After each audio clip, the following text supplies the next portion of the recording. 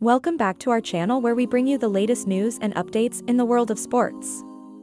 In today's video, we'll be discussing the latest news on Andrew Luck's NFL rights, and how Colts owner Jim Irsay put the Washington Commanders on notice.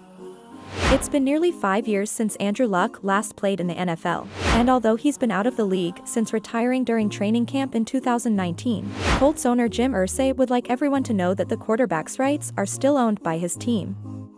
If that was unclear to anyone around the NFL before May 7th, it's not anymore after Irsay fired off a tweet late Sunday night that made that very clear. Although Irsay didn't mention any specific team in his tweet, he seemed to be putting the Washington Commanders on notice. Over the weekend, ESPN reported that the Commanders were so desperate for a quarterback during the 2022 offseason that they even phoned about retired Andrew Luck. The story didn't make it clear who the commanders called when they phoned about luck, but based on Irsay's response, it seems that the commanders didn't reach out to anyone in the Colts organization. As Irsay noted, if the commanders reached out directly to Luck or a representative of Luck, then that would be tampering.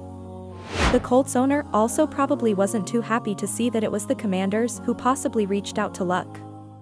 Irsay has never been on great terms with Dan Snyder, and Irsay was even one of the very few owners who went on the record about how the NFL needs to think about getting rid of Snyder. As for Luck, when he retired in August 2019, he still had three years left on his contract with the Colts, and if he ever comes back to the NFL, his contract will be reinstated, and the Colts will own his rights for three more years. If any team got caught trying to contact Luck, they could potentially get hit with a big punishment. In August 2022, the Dolphins got docked two draft picks, including a 2023 first-rounder, for tampering with Tom Brady. ESPN actually reported last year, March 2022, that the Commanders had considered Luck, but it appears that the report from this year gained more traction because of what it specifically said.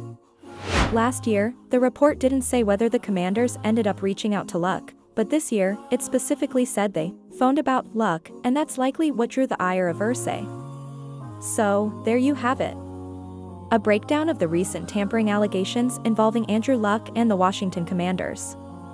If you enjoyed this video, be sure to like and subscribe for more informative content about the NFL and its players. And don't forget to leave a comment below with your thoughts on this situation. Thanks for watching.